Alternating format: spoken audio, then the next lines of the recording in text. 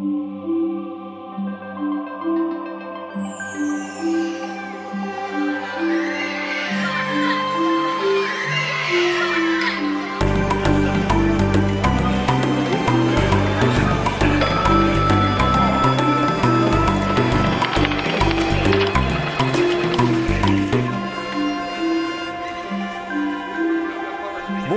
Bienvenue dans votre magazine Parabole. Alors on vous l'avait annoncé dans notre dernier numéro, ça y est, Monseigneur Ravel, le nouvel évêque de l'église d'Alsace, est arrivé dans notre région. Il remplace Monseigneur Gralet, qui a été évêque auxiliaire pendant trois ans et qui est resté dix ans à la tête du diocèse d'Alsace. Il va passer la main officiellement au mois d'avril. Je vous propose de revenir sur son parcours en images.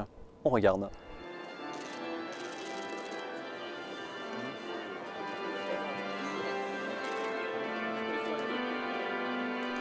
Après avoir été évêque auxiliaire durant trois ans, Jean-Pierre Gralet a pris la succession de Monseigneur Joseph Doré à la tête de l'église d'Alsace. Le premier événement, c'était l'installation, comme bien sûr l'ordination comme évêque en 2004, quand même très émouvant pour moi, et bien sûr euh, lorsqu'en 2007, il m'est confié de devenir l'archevêque de Strasbourg. C'était il y a dix ans, et j'en suis encore très ému. L'accueil des gens, la beauté, la beauté de, de la célébration et, et, la confiance qui très rapidement s'est exprimée entre les chrétiens et, et moi, leur évêque, c'est quelque chose qui continue de me toucher. Que Dieu nous aide à nous regarder. Durant ces dix ans d'épiscopat, Monseigneur Gralet a tenu à mettre l'accent sur la jeunesse. Je pense d'abord au pèlerinage que j'ai fait avec les Pélés jeunes à plusieurs reprises. Il y a eu des moments très très importants. Je pense aux rencontres que j'ai eues avec les, euh, les jeunes de TG. C'était un très très beau moment pour toute l'église d'Alsace et pour, on pourrait dire pour toute l'Alsace et même euh, le, les pays voisins d'Allemagne euh, et de Suisse, tant cet événement a été bien préparé, salué par non seulement tous les chrétiens, mais aussi tous les Alsaciens.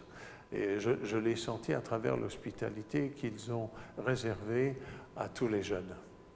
Il y a eu ça, il y a eu encore eu le, grand rassemblement européen des scouts, de, des scouts à, au Zénith avec le drame de cet accident euh, face auquel les, les, les, jeunes et leurs responsables se sont montrés d'une magnifique réactivité et ce qui a été un drame, un drame réel s'est transformé en un défi qu'ils ont relevé magnifiquement.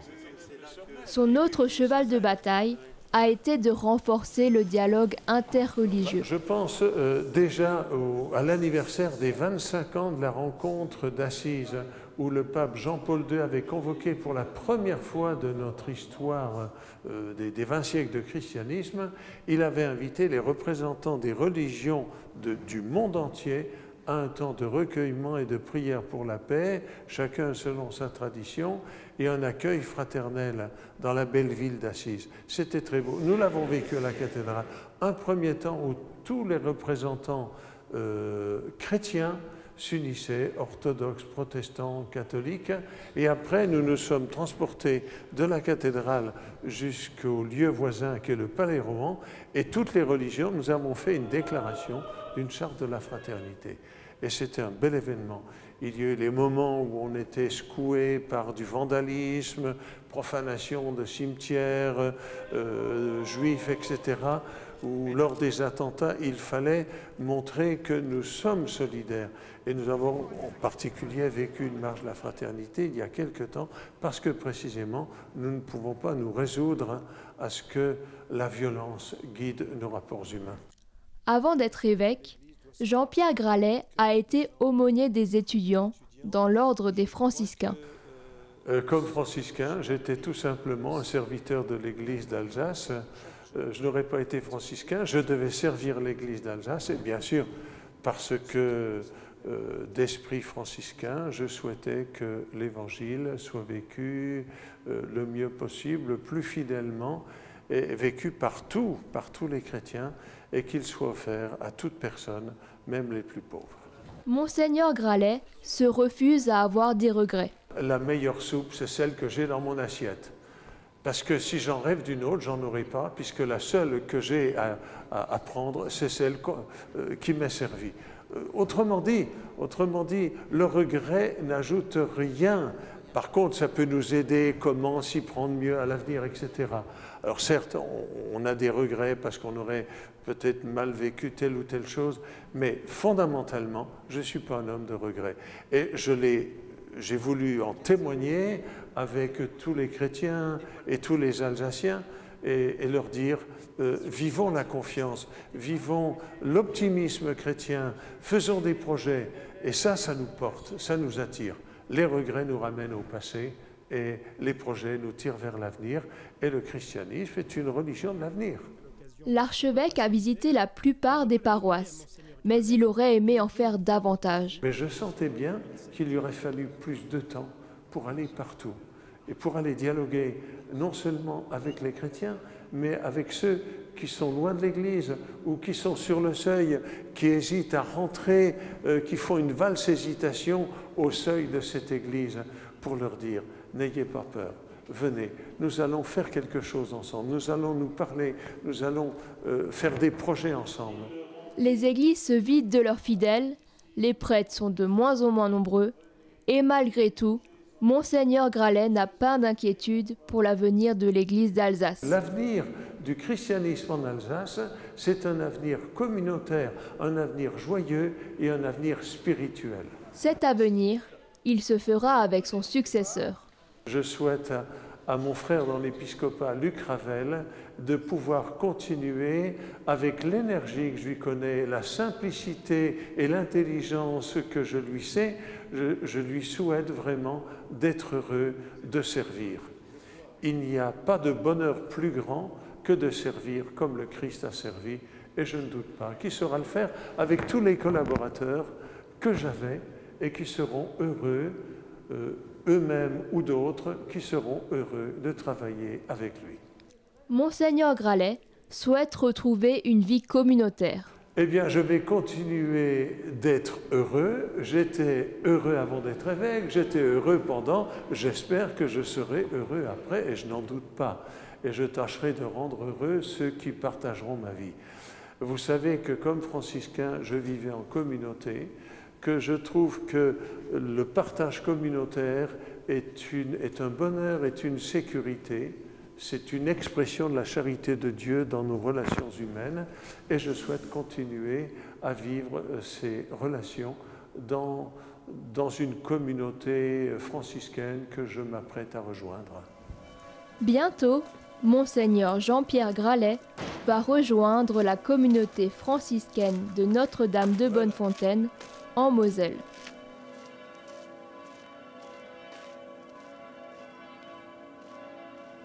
Voilà pour euh, ce parcours de Monseigneur Gralet. Maintenant, qui est Monseigneur euh, Ravel? Pour le savoir, je vous propose de regarder l'entretien que nous avons réalisé avec lui. Bon alors, bienvenue Luc. Entre les deux hommes, le ton est cordial et amical. C'est avec Jean-Pierre Gralet à ses côtés que Luc Ravel participe à sa première conférence de presse. Il a 59 ans et il est polytechnicien de formation. Jusqu'à cette année, il était évêque aux armées Aujourd'hui, il prépare la transition et se confie sur son parcours. Pour commencer à le découvrir, nous lui posons une première question sur son enfance et ses origines. J'ai des grands-parents, euh, pour une part, qui sont des îles hein, de la Réunion et des Antilles. Donc en fait, je suis un peu un sang mêlé avec une maman provençale, mais un papa donc, qui porte euh, du sang de trois continents dans ses veines avec une éducation essentiellement en région parisienne, papa militaire, marié tard, et donc j'ai pu euh, me fixer pour mes études secondaires en région parisienne. Euh, je suis né moi-même à Paris, et euh, troisième d'une fratrie de sept enfants, trois frères, trois sœurs, toujours très proches de moi. Après des études à Polytechnique, vous entrez dans la vie religieuse. Il y a cette rencontre avec un membre de ma congrégation, de cette abbaye de l'Ardèche. Là, c'est une nouvelle découverte pour moi, complète. L'Ardèche m'était totalement inconnue. La vie religieuse n'était connue que de l'extérieur. Et j'entre euh, à 24 ans chez les chanoines réguliers de Saint-Augustin, dans une congrégation presque naissante, qui né en 1968. J'ai surpris d'ailleurs beaucoup de monde par ce choix adulte de me déterminer pour la vie consacrée, la vie religieuse. D'autres m'attendaient sur une vie plus classique, merveilleuse, mais de laïque, engagé dans l'Église et dans le monde. Hein, voilà, dans l'industrie, par exemple, je me préparais à travers le pétrole. J'avais fait une formation dans le pétrole à m'inscrire dans ces grands groupes pétroliers. Et puis, je crois que le goût du bonheur a été plus fort, le goût de la liberté, ce sentiment que la pauvreté serait pour moi la, la route de ma vie chrétienne. Je suis rentré avec beaucoup d'enthousiasme dans cette congrégation. Et je pensais y terminer mes jours. voilà. Mais en 2009, vous avez été nommé évêque aux armées.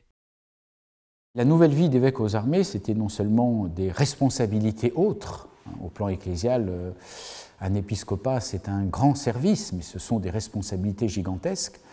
Mais en plus, un changement existentiel profond. Il m'a fallu plusieurs mois avant de me dire, ben voilà, c'est normal, tu es au service de l'Église, donc tu te retrouves dans, dans Paris, tu te retrouves dans un petit appartement, tu te retrouves à partir à 3 heures du matin, à rentrer à 23 heures, à plus pouvoir chanter ton office avec tes frères. C'est ainsi que Dieu le veut. Et fin 2016, nouveau défi, votre nomination à la tête de l'Église d'Alsace. Oui, c'est un énorme défi. Hein. Ne parlant pas l'alsacien, n'ayant pas servi au plus grand sens du terme, dans cette archidiocèse d'Alsace, de Strasbourg, je n'avais même pas intégré dans ma pensée qu'un jour je pourrais euh, être à, la tête de ce diocèse. Hein.